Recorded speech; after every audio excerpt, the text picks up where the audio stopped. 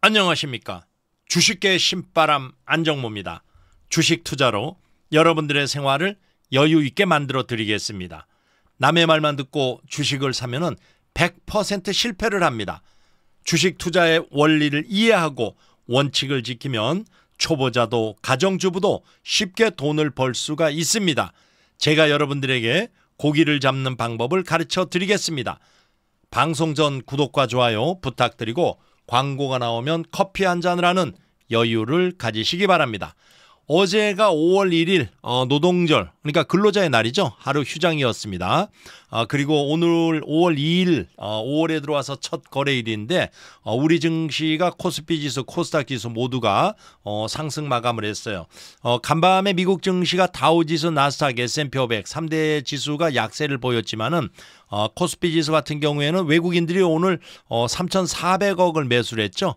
어, 그러면서 3거래일 연속으로 이렇게 그 매수를 이어갔고 기관이 2,285억을 매수를 했어요. 개인이 5천억 이상을 매도를 했지만은 지수가 0.91% 상승을 하면서 2,524.39포인트로 이렇게 그 마감을 했습니다. 자, 여기에서 이제 2,500포인트 위에서 이틀 동안을 이렇게 그 머무르면 어, 이러한 그 상황이 됐는데 어, 2,550포인트 이거를 다시 또 재탈환할 가능성이 상당히 높다 이렇게 그 보면 되겠어요. 자, 오늘 보면은 시가총액 상위 종목군들은 뭐 삼성 바이오로직스 한 종목만 빼고는 다 올랐죠.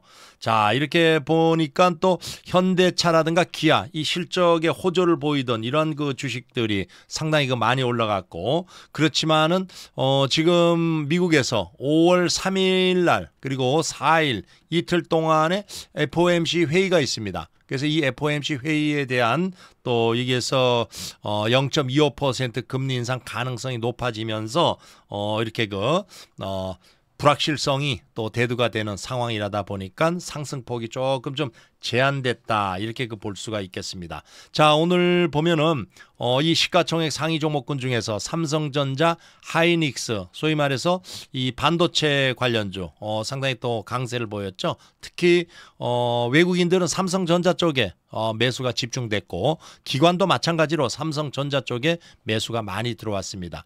자, 그리고 여기에 보면은 LG 에너지 솔루션이라든가 LG 화학, 삼성 SDI, 소위 말해서 우리가 이제 2차 전지 죠. 자, 2차 전지 관련주도 역시 또 강세를 보였어요. 거기에다가 어 현대차, 기아 어 이렇게 그 자동차주 어, 실적을 호실적을 나타내면서 어, 이렇게 그 상승을 했고 뭐 네이버라든가 카카오 인터넷 관련주 이렇게 그 다 올라갔어요. 특히 이 포스코 어, 쪽에서는 포스코 그룹주가 상당히 그 상승세를 탔는데 포스코 퓨처엠이 5.22% 이렇게 그 상승을 했죠. 그리고 또 포스코 홀딩스도 역시 1.33% 이렇게 그 상승을 했고 포스코 인터내셔널 이것도 5.04%어 굉장히 많이 올랐어요. 어 그리고 어 이렇게 그 뭐면은 뭐 포스코 스틸리온 어 요것도 역시 어 3.47%나 이렇게 그 상승을 했습니다. 그리고 코스닥 시장에서 포스코 DX 어 그리고 포스코 엠텍 모두 다 어 이렇게 그 강세를 보이는 이러한 그 상황이 여기에서 어 보여줬습니다. 자, 오늘 외국인들이 3,448억을 매수했는데 어떤 업종을 주로 매수를 했나 한번 체크를 해보면 아무래도 삼성전자, 하이닉스 이쪽이 어, 많이 올라가다 보니까 어, 외국인들이 뭐 어, 전기 전자 쪽에 일단은 매수세가 조금 좀 590억 정도가 들어왔는데 어, 현대차, 기아가 많이 올라갔죠.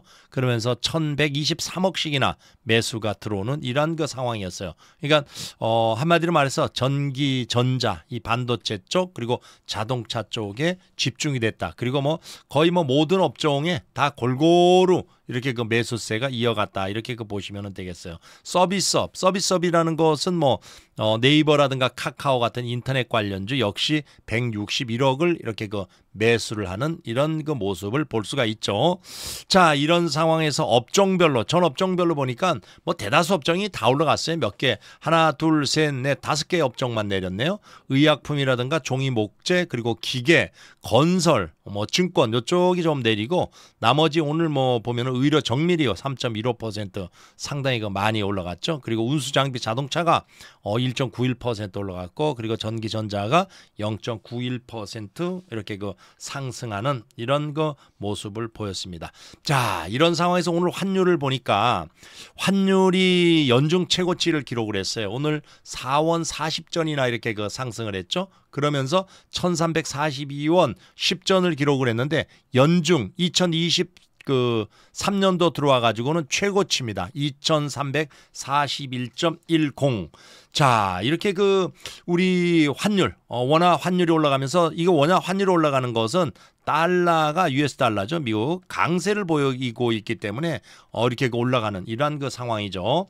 어, 이렇게 그 올라가는 이유는 첫 번째 이유가 지금 현재 무역 수지가 적자를 이루고 있어요. 무역 수지. 지금 뭐 무역 수지가 연속 적자죠. 무역 수지라는 것은 어, 여기에서 그 다른 것보다도 어, 수출 어, 무역 수지, 어, 수출에서 수입을 이렇게 뺀 거, 이게 마이너스가 일어나고 있는 이러한 상황이 돼 버렸어요. 그래서 어, 이것이 빠른 시일 내에 이게 수출이 늘어나면서 이 무역 수지 적자가 벗어나야 되는데 이 적자가 지금 지속되고 있고 그 다음에 두 번째가 자 미국에서의 그 중소 지방은행들의 금융 리스크 자, 이것 때문에 금융 리스크가 어 이것이 이제 어 대두가 되다 보니까 어 여기서 조금 좀 어, 환율이 좀 강세를 보이고 있다. 이렇게 그 보시면 되겠어요. 뭐 일단 그 JP 모건에서 퍼스트 리퍼블릭 뱅크 이 부도나면서 인수를 했다는 소식이 들려왔지만은 아직까지 그 어, 파장의 여파는 지속되고 있다. 이렇게 그 보시면 되겠어요.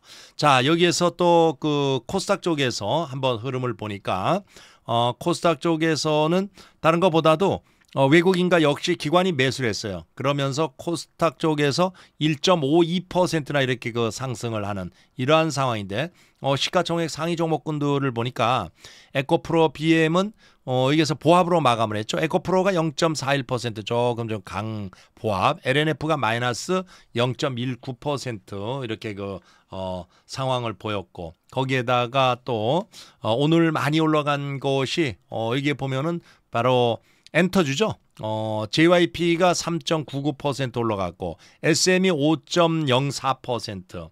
어, 이렇게 그 엔터주가 또 상당히 올라갔어요. 그리고 또 게임주가 이렇게 그 올라갔는데 뭐 보면은 게임주 쪽에서 어 보니까 어 퍼러비스라든가 또 카카오 게임즈 이런 것들이 여기에서 또 쭉또 카카오 게임즈 오늘 어 올라간 것이 어 1.49%나 이렇게 올라갔네요. 퍼러비스가 2.9%. 그러니까 오늘은 게임주하고 어 그리고 또 여기에서 그 엔터주 어 이것이 이제 주로 상당히 그 많이 올라갔다 이렇게 그 보시면은 되겠어요. 그리고 어 2차 전지 관련 어, 에코프로 BM이라든가 에코프로 LNF 요거는 조금 좀 보합으로 마감하는 이러한 상황을 볼 수가 있죠. 자, 이런 상황에서 지금 다른 것보다도 어, 우리 증시가 오늘 뭐 치고 올라갈 수 있는 가능성 이렇게 조금 좀 있었지만은 올라가지 못한 이유 다른 것보다도 FOMC 회의를 앞두고 조금 좀 어, 쉬어가는 그러한 그 장세를 어, 보였다 이렇게 그 볼 수가 있겠는데 그리고 또 어, 미국의 big tech 기업들이죠. 이 우리가 이제 big tech 이렇게 봄 아, 얘기는 어, 소위 말해서 대형 기술주예요. 자, 대형 기술주들이 어, 계속 지금 여기에서 실적 발표를 하고 있어요. 뭐 인텔 어, 상당히 그 실적이 좋게 나왔고 그리고 뭐 메타 어, 메타 그러면 페이스북의 모 회사죠.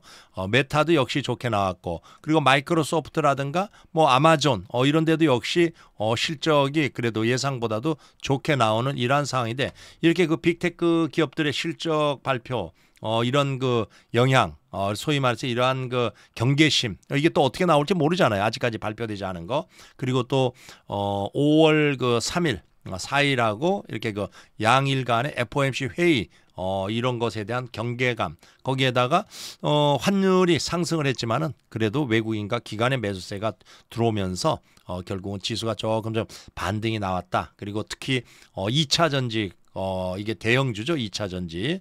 어, 이게 그 코, 코스닥에서는 2차 전지 소재주들이 보합을 보였지만은 어 이렇게 그 코스피에서는 뭐 LG 에너지 솔루션이라든가 어 LG 화학이라든가 삼성 어 SDI 어 이렇게 그 2차 전지가 강세를 보였고 그다음에 또 엔터주도 역시 강세. 거기에다가 어 중국 소비재 어, 중국 소비재주들이 또 역시 강세를 보이면서 지수가 이렇게 그래도 0.91%가 상승을 했다. 어, 일단은 이렇게 볼 수가 있습니다.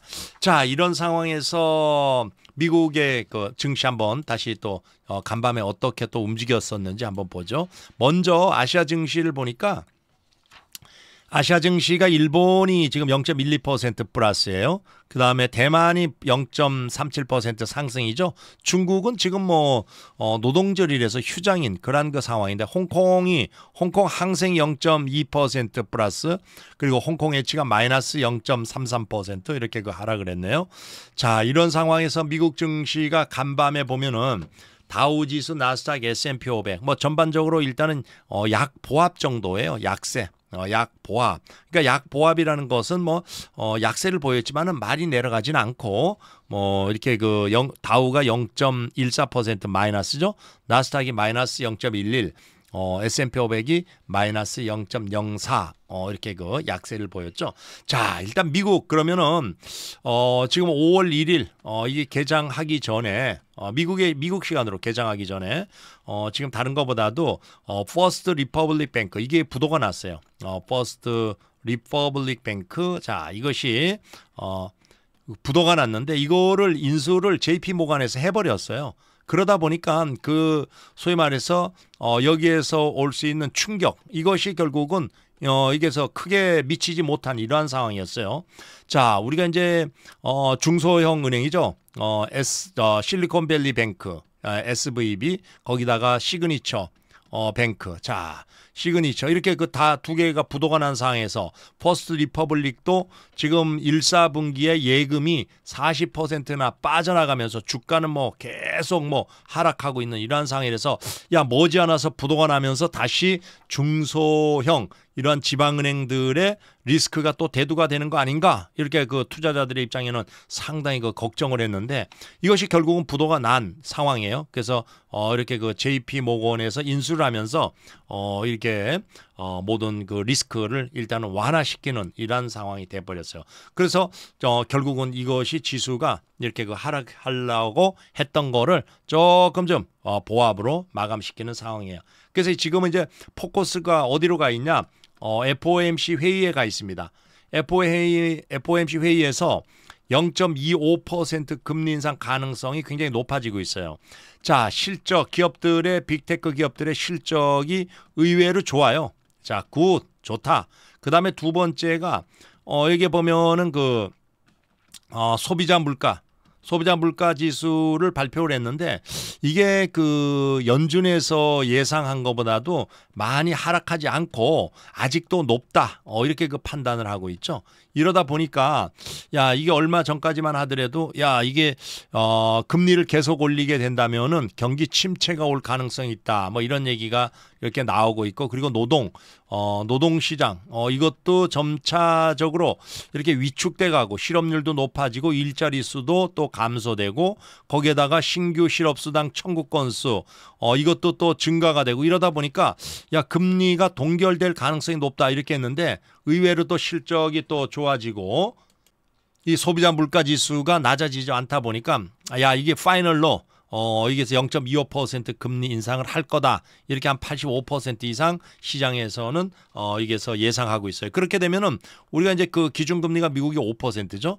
이것이 0.25% 올라가게 되면은 5.25%예요. 그래서 아마 어 이것이 그 마지막으로 어 이게 금리 인상이 되는 거 아니겠냐? 어 일단 이렇게 어 예상을 하고 있어요. 지금 전문가들의 입장에서는 지금 현재가 1, 4분기 1, 4분기의 이 기업 실적. 자, 이것은 그 의외로 호조를 보이고 있죠.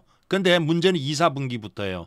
자, 2, 4분기 정도 되면은 어 기업 실적이 한 6.6% 정도 떨어질 거다. 그리고 3분기, 3, 4분기에서는 마이너스로 전환이 될 거다. 마이너스. 그리고 4, 4분기부터는 경기 침체가 어 이게 경기 침체 어, 이것이 올 가능성이 상당히 높다. 이 가능성 이렇게 예상을 하고 있어요. 따라서 지금 어, 기업 실적이 호조를 보이고 있는 이러한 상황에서 마지막으로 0.25% 금리 인상을 하여서 5.25%로 마무리 짓고 그리고 하반기부터는 금리를 인하하면서 경기 침체가 오게 되니까 어, 이렇게 될 가능성을 굉장히 그 높이 어, 보고 있는 이러한 상황이다. 어, 이렇게 그 보시면 되겠어요. 그래서 어, 지금 보면은 그 경기 침체 가능성이 계속 대두가 되는 것이 어, 이게 보니까 이 제조 PMI 지수 어, 이것이 제조 PMI 지수가 어 이게 어 4월 달 거, 4월 달게 여기에 지금 기록한 것이 47.1로 나왔어요. 근데 41.7% 이걸로 나온 건데 이게 예상치 46.7% 이거보다는 좀 높아요. 그렇지만은 이거보다 높지만은 이게 50 이상이면 경기가 확장 추세에 있고 50 미만이면 경기가 위축입니다. 근데 계속 그 위축 추세에 있다는 것은 어 이게 경기 침체가 올 가능성이 높다 이렇게 그 예상을 하고 있죠. 그래서 어 요번에 일단 그 금리 인상 0.25%는 어 시장에서 받아들이는 상황이 되기 때문에 어 이게 그 5월 4일 어 FOMC 회의 이게 후에 어, 금리 인상 0.25%가 결정이 되더라도 주가에 큰 충격은 올 가능성은 많지 않다. 그러니까 별로 충격이 없어요. 시장에서 예상을 하고 있는 그러한 그 상황이기 때문에 자 이런 상황에서 어 일단 뭐 미국의 선물 지수라든가 또 유럽 증시를 한번 볼까요? 자 유럽 증시를 지금 보니까 독일이라 프랑스, 영국 다 주가가 하락하고 있어요. 독일이 마이너스 0.2 영국이 마이너스 0.02, 프랑스가 마이너스 0.41, 유로스탁이 마이너스 0.29, 네덜란드가 뭐 마이너스 0.12 전체가 어, 어떻게 보면은 저기 주가가 하락하고 있는 이러한 그 상황이에요. 자, 이런 상황에서 미국의 선물. 자, FOMC 회의가 지금 어 어, 오늘이 뭐 2일, 우리 시간으로 오후 2일이고 미국 시간으로는 이제 뭐 어, 1일이 저녁이죠. 자, 이런 상황에서 미국의 선물 지수 보니까 다우가 지금 마이너스 0.21, S&P 500이 마이너스 0.18, 그리고 또 나스닥이 플러스 0.02. 그러니까 보합 정도의 수준이에요. 따라서 내일 미국 증시 역시 어 이렇게 그 뭐 하락이나 급상승보다는 조금 좀 강보합 내지는 약 보합으로 유지될 가능성이 상당히 많다. 이렇게 볼 수가 있겠어요. 자, 이런 상황에서 이제 오늘 우리 증시를 이렇게 보면은 어, 우리 증시는 그래도 오늘 여기에서 선전을 좀 했다. 이렇게 그 보시면 되겠어요. 지금 외국인들이 지금 어, 이렇게 그 매수세가 오늘 어, 코스피에서 3,448억이죠. 그리고 또 코스닥에서 1,600억의 매수. 그리고 외 어, 선물에서 무려 9,948억 1조 정도를 이렇게 매수를 했어요. 개인들이 매도가 이렇게 그 일어나고 있죠. 어, 개인들이 매도가 이렇게 그 일어나는 것을 보면은 일단 뭐 지수가 어, 2,550포인트 외국인 매수가 이렇게 어, 추가로 이어진다면은 아마 2,550포인트는 다시 또 뚫고 올라갈 가능성에 어, 여부는 가지고 있다. 이렇게 그 보시면 되겠어요. 그래서 지난달 그 4월 달이죠. 제가 그 방송을 할 때도 야, 이게 2,550포인트는 넘고 2,600까지 목표가 될 가능성이 있다. 근데 결국은 넘지 못하고 다시 또 이렇게 그 2,600은 어, 넘지 못했죠. 2,550은 넘었지만은 어 그리고 나서 조정을 받고 다시 반등하고 있습니다. 그래서 여러분들이 지금 뭐 그렇게 그 염려할 필요는 없어요. 단지 지금 문제가 2차 전지 쪽에서 모든 그어 여기에서 개인들이나 뭐 이러한 그 매수세 어 이쪽으로 수급이 쏠려 있는 어 상황이 이래 가지고 어 다른 종목군들이 거의 잘 안 올라가고 있어요. 그래서 여러분들이 가지고 있는 개인적으로 가지고 있는 종목군들이 별로 움직임이 없지 그죠? 어 별로 조금 조금 움직이고 왜 워낙 이쪽에 많이 올라갔어요. 이게 코스닥 쪽에서 여러분들이 보시다시피 이렇게 주가 올라간 것이 여기서부터 1월 달부터 이렇게 쭉 올라간 것이 다른 것보다도 2차 전지 때문에 2차 전지 에코프로, 에코프로, PM, LNF 뭐 이런 2차 전지 소재주 때문에 이렇게 올라간 것이 때문에 여기에서 이렇게 그거 그 업종이 꺾이지 않는 한은 어, 당분간은 수급이 다른 어, 종목에 쏠릴 그러한 그 가능성은 많지 않습니다. 그렇지만 여러분들 어, 이렇게 그 너무 좌절하고 그럴 필요 없어요. 언젠가는 또 순환매가 돌아서 여러분들이 보유하고 있는 종목군들로 매수세가 들어오고 있다 이렇게 보시면 되겠어요. 그리고 또 제가 뭐 여러분들한테 그 유튜브에서 무료로 계속 방송을 하고 있지만은 제가 가르쳐 드리는 종목 같은 경우 여러분들 한번 보세요. 동국 RNS 같은 경우 이렇게 제가 그 여러분들한테 매매 기법 가르쳐 드리는 거 요게 4월 17일입니다. 4월 17일이면은 바로 여기에요. 자 여기에서 여러분들한테 그 유튜브에서 어, 매수를 어, 매수 시점이다 하고 추천을 하면서 교육을 했어요. 21선이 이렇게 우상향하고 있고 그리고 눌림목 이 눌림목에서 매수를 해라. 눌림목에서는 바로 CCI 9이 과매도 구간 이런 데서 매수하면 주가가 올라갈 가능성이 많다. 여기서 결국은 이렇게 이렇게 하면서 뭐 오늘도 이렇게 그 어, 지금 15.28% 상승을 했지만은 장중에 뭐 20%가 넘었어요. 20.13까지 이렇게 그 어, 주가가 반등을 하고 있죠. 그러니까 여러분들이 제가 그 무료로 리딩을 장중에 유튜브에서 해드리고 있으니까 오셔가지고 제가 하라는 대로 잘 따라하시면은 여러분들은 월 천만 원의 수익을 낼 수 있는 그러한 그 매매 기법을 배울 수가 있습니다. 그럼 어디로 오면 됩니까? 이쪽으로 오시면 돼요. 자, 먼저 요게 여러분들의 그 유튜브에서 구독을 누르고 그다음에 요 화살표를 이렇게 누르면은 카페가 나옵니다. 카페 이렇게 딱 링크를 된 것을 어, 클릭을 이렇게 그 하게 되면은 카페로 들어오게 돼요. 이게 카페. 그럼 요렇게 이게 요거는 PC 버전이에요. 카페 들어오시면은 카페 먼저 가입을 하십시오. 가입하고 그다음에 여기 무료 카톡방이 있어요. 이 무료 카톡방에 어, 여기에 들어오세요. 무조건. 어, 이게 보면은 어, 제가 그 추천하는 종목의 매수가라든가 매도가, 매매 전략 이러한 것들을 여기에서 어, 여러분한테 어, 계속 그 알려드리니까 이게 뭐 돈 내고 그러는 데가 아니니까 부담 없이 들어오세요. 어, 그러면은 어, 여러분들이 매매 전략 이런 것을 잘 따라서 하면은 아마 어, 손실은 최소화, 수익은 극대화하면서 꾸준하게 수익을 낼 수가 있습니다. 자, 그리고 여기 보면은 또 제가 그 무료로 리딩을 해드리고 있어요. 다른 것보다도 어, 이게 시간은 그 9시에서부터 오후 3시 30분까지 9시에서 오후 3시 30분 뭐 매일 월요일에서부터 금요일까지죠. 여기에서 어, 유튜브에서 무료로 이렇게 그 리딩을 해 드리고 있는데 여러분들이 유료 리딩 하는 데 가서 이게 방송을 들으면은 월 회비를 88만 원을 줘야 돼요. 문자나 카톡 같은 경우에도 33만 원을 줘야 됩니다. 제가 방송하던 데가 한국경제TV 여기에서 방송을 했고 그 다음에 어, SBS, CNBC 어, 여기에서 방송을 했어요. 이때도 88만 원을 회비 내신 분들이 제 방송을 들을 수가 있었어요. 근데 여기는 그냥 제가 무료 한마디로 말해서 공짜로 그냥 방송을 해드리고 있어요. 뭐 돈 받고 그러는 거 없습니다. 그러면서 여러분들이 꾸준하게 수익을 낼 수 있게끔 매월 어 500에서 어, 천만 원 이상 수익을 낼 수 있는 그러한 매매 방법, 기법을 가르쳐 드리고 있어요. 한마디로 말해서 자기가 종목을 고르고 그리고 자기가 그 종목을 매매해 가지고 이렇게 수익 내는 방법이죠. 여러분들이 유료 사이트에 가서 한 달에 88만 원이면은 1년으로 따졌을 때 천만 원이에요. 천만 원. 뭐 최소한 몇백만 원 정도 이렇게 그 회비가 나갑니다. 1년에 몇백만 원. 근데 여러분들이 가서 종목 추천을 받았어요. 그 유료 사이트에서 그게 수익이 날 수 있을 것 같죠? 안 납니다. 몰라요. 한 번 내지 두 번은 날 수가 있어요. 그렇지만 절대 여러분들이 거기서 돈 번다는 거는 생각하지 마세요. 결국은 종목 개수나 많아지고 돈 잃고 나오게 됩니다. 그러니까 여러분들이 여기 오셔가지고 무료로 그냥 방송 들으면서 자기의 매매 기법, 어, 이 고기 잡는 법을 배우세요. 그리고 제가 매일 어, 유튜브에다가 이렇게 그 영상을 올려드리고 있습니다. 그럼 영상을 올려드리면 여러분은 공부를 하셔야 돼요. 공부를 하시면서 제 방송 무료 리딩을 잘 따라하면 월 500에서 1000만 원 이상 수익을 낼 수가 있지만은 공부를 안 하고 그냥 와서 어떻게 종목이나 하나 얻어가지고 수익을 낼까 이렇게 유료 사이트 같이 이런 식으로 생각을 했다가는 오히려 손실이 발생이 됩니다.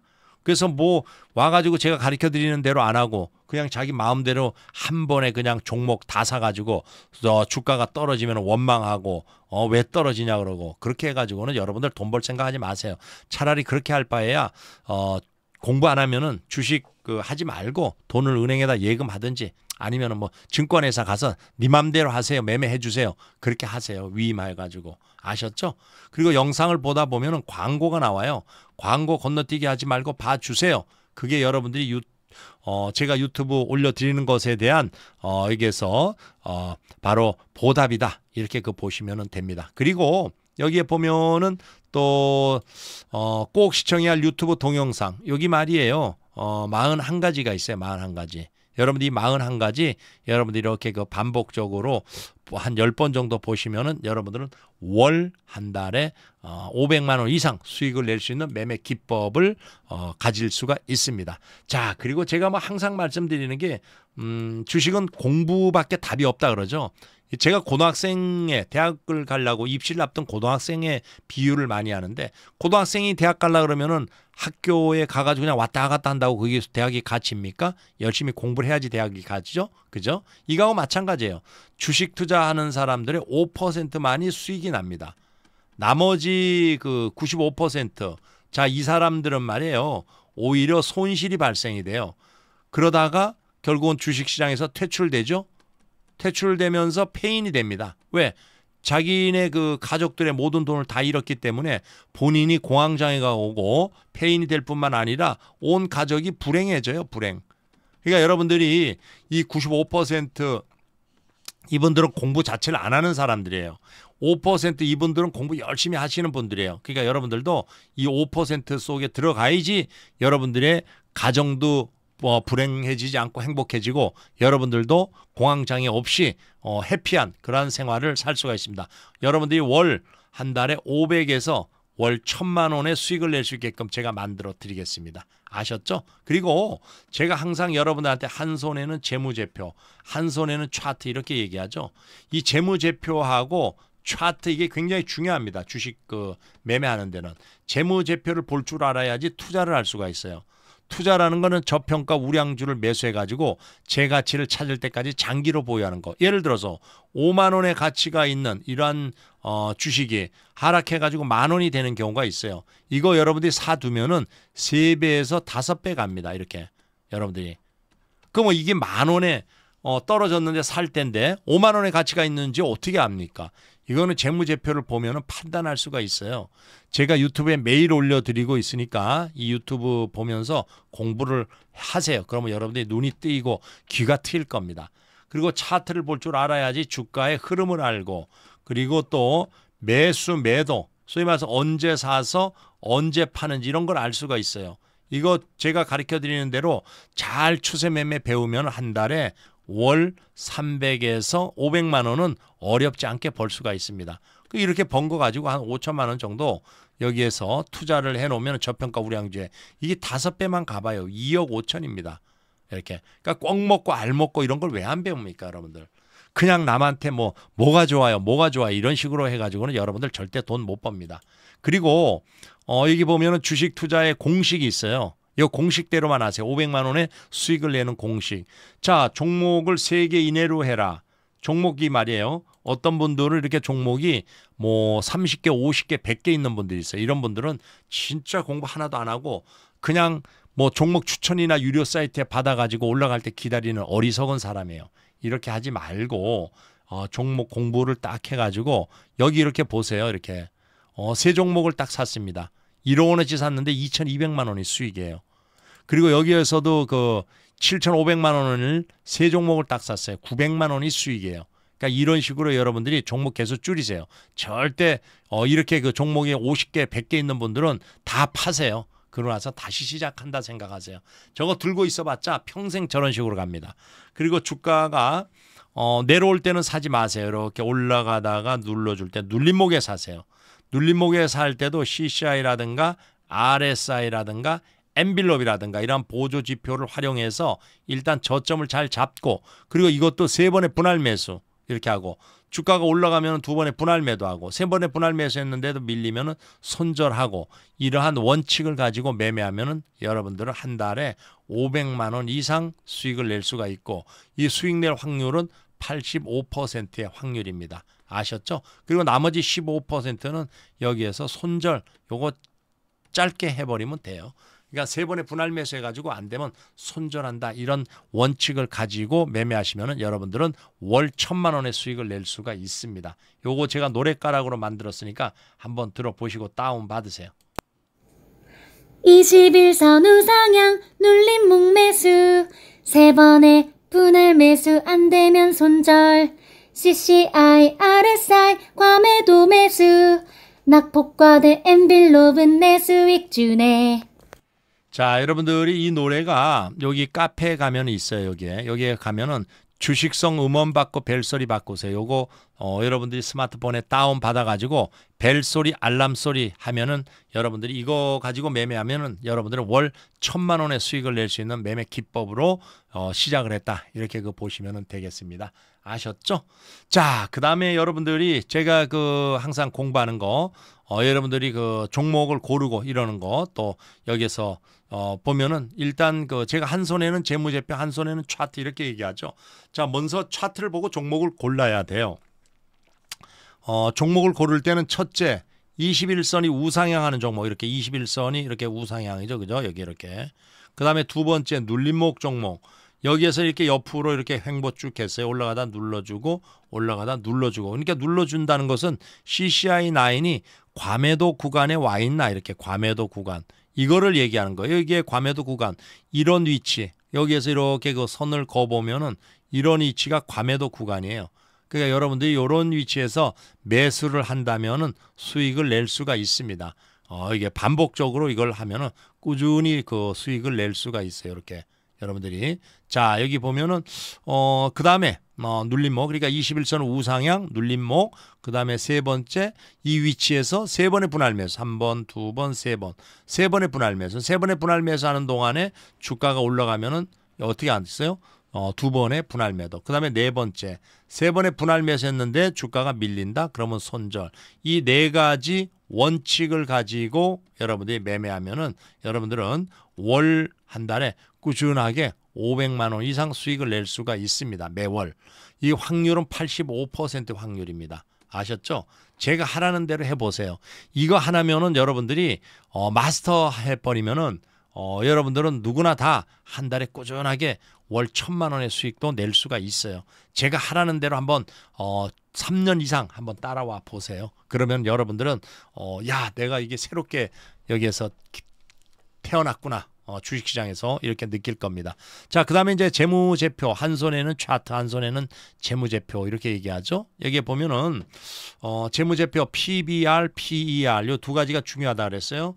PBR, Price Book Value Ratio, 주가 순자산 비율 0.71 이렇게 나오죠.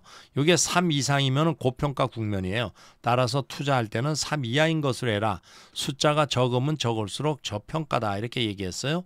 여기에 보니까 0.71이니까 저평가죠. 그 다음에 PER, price earning ratio, 주가 수익 비율이에요. 이거는 수익 비율.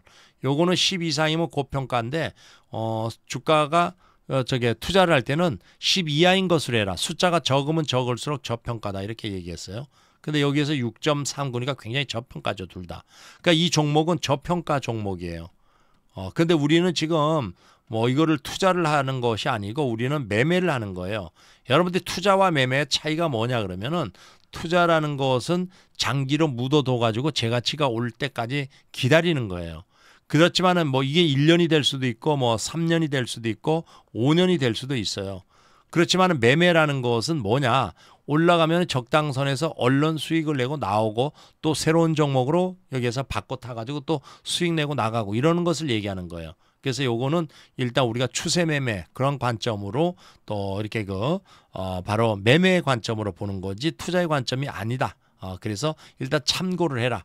자, 이게 LS에 대해서 매출이 여기에 보면은 10조 4천억, 12조 8천억, 17조 4천억, 25조. 야, 매출이 굉장히 좋네, LS. 그죠? 그 다음에 영업이익이 3,300억, 4,700억, 5,600억, 8,400억. 영업이익도 상당히 그 좋습니다. 그러면 이제 영업이익률.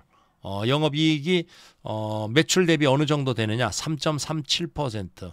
그리고 또 자기 자본 수익률 ROE 12.14% 이렇게 이거는 뭐 그냥 뭐 이렇게 어떻게 보면 이 대기업이니까 뭐 이렇게 뭐 적당하다 뭐 그렇게 많진 않아요.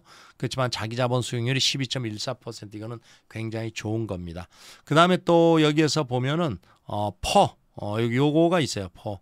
어 다른 거보다도 어 여기서 PER가 어떻게 되느냐 요걸 한번 또 이렇게 그 보자고요.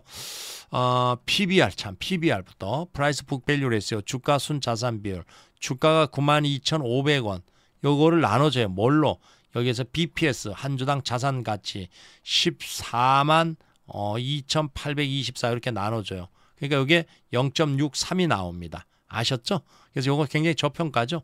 그 다음에 PER price earning ratio 주가 수익 비율입니다. 요거는 주가가 92,500원이에요. 요걸 나눠줘요. 뭘로 나눠주느냐 여기에서 보면은 어 자, 여기에서 EPS 한 주당 벌어 들이는 돈 16,000 어, 26원, 16,026 이렇게 나눠주니까 5.59가 나와요. 그러니까 굉장히 그 어, 여기에서 어, 상당히 그 저평가 종목이면은 틀림이 없습니다. 아셨죠, 여러분들?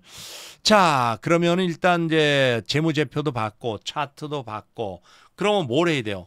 실전 매매를 해야 된다 그랬죠? 제가 실전 매매.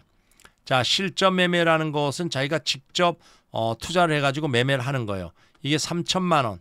자, 3천만 원을 가지고 매매를 하는데 여기에서 1차 매수, 2차 매수, 그 다음에 3차 매수 이렇게 세 번에 나누라 그랬죠. 1차 매수는 40%, 4, 32, 1,200만 원. 자, 2차 매수는 30%, 3, 3은 9, 900만 원. 3차 매수 30%, 3, 3은 9, 900만 원. 이렇게 어, 이렇게 나눠요. 그 여기서 이제 1차 매수가 들어가는 거예요. 이게 1,200만 원. 이렇게. 그 1차 매수 했는데 주가가 이렇게 올라간다. 그러면은 얼마나 기분이 좋아요? 그래서 여기서 플러스 5% 올라가면 절반 매도, 플러스 10% 올라가면 전량 매도. 이런 식으로 딱 해 놓으세요. 그리고 나서 일단 뭐 수익 내고 나오시면 돼요. 근데 여기 지금은 올라갔지만은 올라가지 않고 이렇게 밀릴 수가 있잖아요. 이렇게. 이렇게 밀리면 어떻게 돼? 1차 매수한 후에 어, 주가가 올라가지 못하고 이렇게 밀린다. 그러면은 마이너스 5% 이렇게 내려오면은 2차 매수를 하는 거예요. 2차 매수. 여기서 2차 매수. 또 마이너스 5%또 내려왔어요. 그 여기서 3차 매수 하는 거예요. 이렇게. 3차 매수. 그러니까 1차 매수, 2차 매수, 3차 매수. 세 번에 나누어서 분할 매수를 이렇게 그쭉 하는데 주가가 내려와도 걱정 안 되는 게 얘가 예비 자금이 이렇게 있잖아. 그죠? 그러니까 걱정할 필요 없어요. 그래서 요게 보면은 이렇게 그 세 번의 분할 매수하는 동안에 주가가 이렇게 그 쭉 올라갈 확률이 85%입니다. 그러니까 이렇게 올라가면은 플러스 5% 올라가면 절반 매도, 플러스 10% 올라가면 전량 매도 이렇게 하고 나오세요. 욕심 내지 말고 뭐 더 가지고 가려는 거는 또 여러분들이 그 배우면은 되니까. 그 이렇게 수익을 내고 나왔어요. 그래서 어 여기에서 항상 그 제가 말씀드리지만 하수는 한 번에 매수하고 고수는 이렇게 분할 매수하는 게 고수예요. 그래서 이렇게 매수를 했는데 근데 이게 세 번째 분할 매수 어 이렇게 한 후에 어 이렇게 올라가지 않고 내려오는 경우가 있어요. 이때는 마이너스 5% 내려오면 이때는 무조건 손절하고 나오세요. 손절. 아셨죠? 그러니까 여기에서 뭐 더도 들도 말고 욕심내지 마세요. 어, 종목은 많습니다. 우리가 종목을 살 때 올라가는 걸 안 사잖아요. 눌러줄 때 눌림목에 사는데 이것도 세 번의 분할 매수하죠. 그죠? 위험 관리 차원에서 올라가면 두 번의 분할 매도, 세 번의 분할 매수했는데 계속 내려온다 그러면 손절. 그러면 여기서 제일 중요한 게 어떤 거냐? 손절이 제일 중요해요. 그 다음에 분할 매수. 이 두 번의 분할 매도하는 거는 뭐 그렇게 중요한 거는 아닙니다. 이거는 수익을 극대화하기 위한 하나의 방법이에요. 극대화하는 방법이지 뭐 이렇게 나 나는 한 번에 다 매도하겠다. 뭐 매도한다고 뭐 누가 잡아갑니까? 그렇지만은 이렇게 분할 매수하는 거, 어, 손절 이거는 아주 필수입니다. 여러분들이 아셨죠? 이거를 못 해 가지고는 여러분들이 주식시장에서 언제 한 번에 원샷에 갈 수가 있어요. 그러니까 여러분들이 요거는 어, 소위 말해서 위험 관리 어, 이게 우리가 철저히 하기 때문에 꼭 지켜 나가시기를 바라겠습니다. 자, 그리고 또 다른 종목을 보면은 요 종목 어, JLK라는 종목이 있어요. JLK. 자, 요 종목이 일단 보면은 21선이 이렇게 우상향 하고 있죠. 이렇게 그죠? 우상향. 어, 또 올라가다 눌러줬어요. 눌림목. 이렇게 눌림목, 눌림목, 이렇게 눌림목. 지금 여기에서 보면 이런 눌림목 위치가 다 매수 위치예요. 그런데 여러분들이 보면은 이렇게 그죠? 눌림목 위치가. 그리고 여기에서는 이중 바닥을 형성시켰기 때문에 여기에 매수를 딱 이렇게 했을 때는 크게 수익을 낼 수가 있어요.